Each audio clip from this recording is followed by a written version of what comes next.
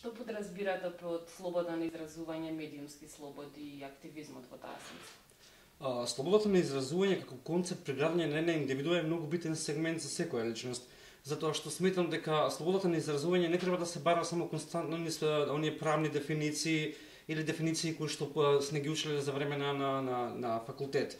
Битен сегмент е семејството тука. Колку индивидуалецот ќе си овозможи слободно да се изразува, тоа ќе тоа ќе продолжи текот на понатамошниот живот на одредена индивидуа. Зборам од аспект на, на индивидуалноста, од аспект на, на, на медиумите, тука нема што многу да се зборува. А, постојат многу извештаи како од домашни, така и од странски организации кои што алармираат на прекршувањето на слободата на изразување на, на медиумите. А, тука се Freedom House, тука се Репортери без граници, Amnesty International и многу други кои што алармираат константно а, активизмот, ако зборуваме за активизмот во на новинарска смисла, сметам дека не може да да новинарот си дозволи да секоја информација која што ќе ја слушне да ја пренесе како таква, бидејќи новинарот во новинарството има двојна улога. Едната улога е како примач на информации, а другата улога е како пренесувач на истата. Е сега, не велам дека а, новинарот кој што а, апсолутно ги работи во доменот на објективното новинарство, избалансираното новинарство, не предонесува кон а, акти, а, активизмот во, во оваа професија и воопшто во, во обштеството. А, новинарот пред се е човек нели кој што гради јавно мислење, заради тоа и треба да внимава во начинот на, на текстот кој што го пишува, на, на, на како се изразува и што може да предизвика војнина. Така да, апропо тоа, сметам дека апсолутно постои некој активизам, но не е чист активизам за кој што пак голем дел на активистите може да го направат за разлика од новинарите. Новинарите може да само да пренесат информација да откријат некоја корупција, некој криминална, на некој скандал на на одреден полит, на некој политичар и на бизнис заедницата. Повторно велам, не дека не придонесуваат за а, активирање на алармот на, на во одредена ситуација. А, но сепак не можат да, да, да, да преминат границата на оние морални стандарди кои што ги има зацртана оваа професија. бидејќи ако од од комуниколошки аспект, односно комуниколошките жанрови, многу јасно се зацртани на што може на новинарот да прави и како треба да се изразува. Тука, ако веќе зборуваме за активизам, апсолутно новинарот има слобода доколку се работи за коментарот, бидејќи коментарот како таков поддржува а, личен став, но да биде исчистен од сите оние пребирања кои што може да, да, да предизвика било каква а, било каков револт кај кај кај конзументите на таа информација. На кој начин ги поддржуваат или можете да ги поддржите слободата на изразување, медиумските слободи и активизмот? На кој начин може да се поддржат Сметам дека не треба да, да, да се зборува во никој случај за тоа дека треба да, да се поддржува слободата на изразување, бидејќи тој пак ќе кажеме сегмент кој што а, за кој што еве па да, да не звучам да премногу сега паметно, но Жан Жак, теориите на Жан Жак Русо, Џон Лок и многу други родоначалници зборуваат за тоа дека човекот се раѓа со таа слобода, гледано од аспект на, на медиумите, дали треба да ги поддржуваме, апсолутно да, но во, а, тука па сепак постои оној оној клиентелизам кој што многу влијае да, дали ти ќе придонесеш или не. А, кога велам клиентелизам, сметам на, на а, мислам на овие бизнес интересите, интересовните групи, а, владата тука е бидејќи колку доколку владата се меша во работата на новинарот во, во уредничката политика на на на, на медиумската куќа, тогаш не можеш и многу да придонесеш, но во, во таа борба, ако се вратиме на што зборевме активизам, ќе видиме дека а, клучната алка во, во, а, во борба, кога велам борба, условно кажано, не мислам на а, крвопролевање, туку мислам на аргументирано и да, да, достоинствена борба, за која што треба да се избори како новинарот, така и уредникот. Крајната алка, пак ќе кажам, тука не е само новинарот, тука и уредникот, тука си они канали преку кои се пренесуваат информациите во насока на подобрување на состојбата на, на, на слободата на изразување, слободата на медиумите, за кои што пак повторно се враќаме на, на, на момент дека немаме слободни слободни медиуми. Доколку немате слободни медиуми, немате ни слободна демокра... немате ни демократија.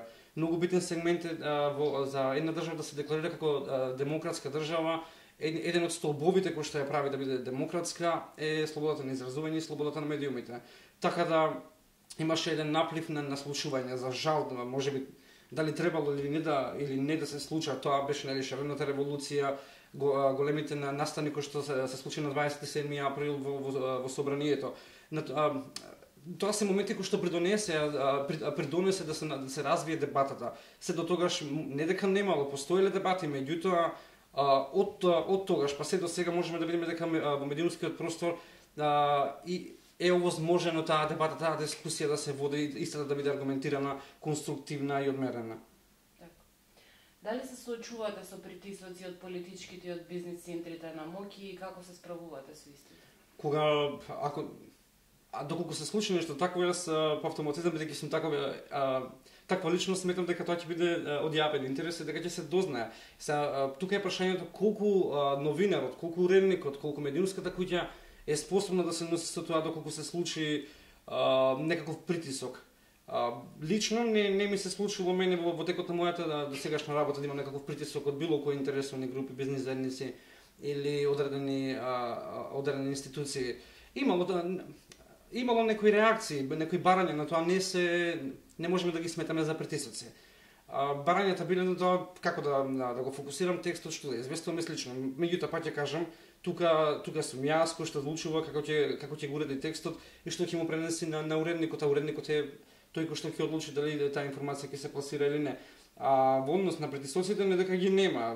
А, до тоа се зборуваат се зборува многу одамна. Имавме ситуации каде што голем голем дел на новинари а, а, биле а, се нашле во се нашле во канчите на, на судството, па не можеле да да да да, да излезат да излезат од истите, така да заради тие бизнес интересни групи кои што се обидуваат да влијат, па се добидуваме во ситуација да ние повторно бидеме на дното на на оние извештаи во однос на слободата на изразување и медиумското и медиумското изразување.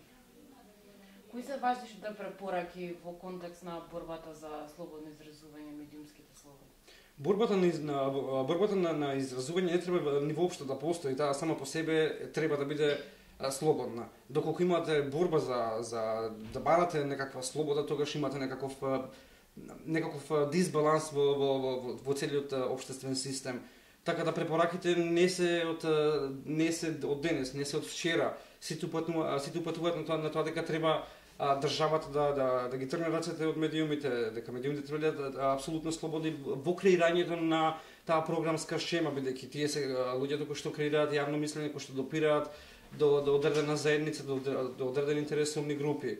А, еве имаме случај сега, тоа е предлог законот за измени и дополнување на законот за аудио и аудиовизуелни медиумски услуги, каде што голем дел од, од заинтересираните, од оние кои што се засегнати од овој закон, па остро реагира. Тука е Сдруженијето на новинари на Македонија кој што бара потикно да се избрише членот 61 кој што со самиот тој член се на се се влегува многу во длабоко во структурата на на, на уредбачката политика. Големи се казните кои што се предвидени од 5000 евра до 1500 евра. Меѓутоа не владата најави дека ќе ги укине тие Точно, точно е тоа дека најави, меѓутоа се додека не се донесе таа одлука, не може да се смета дека е укината.